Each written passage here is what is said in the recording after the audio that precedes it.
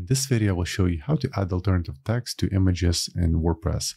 And for the purpose of this example, I'll be adding alt text to this particular image on my sample page.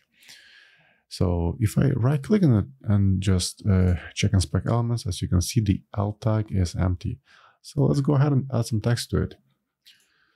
Uh, first things first, let's log into dashboard and then hover on pages, click all pages. Then let's look for sample page. It's right here. Let's click on edit. And then here's the image. So once I click on it, uh, you'll notice there's an option to add alt text on the right. And now let's describe what is the image all about in less than 125 characters.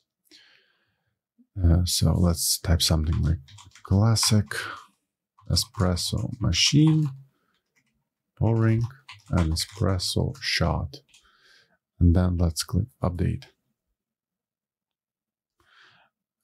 So let me go back to my site, refresh the page, and let's see if the alt tag has been altered. Inspect elements, and here's the text.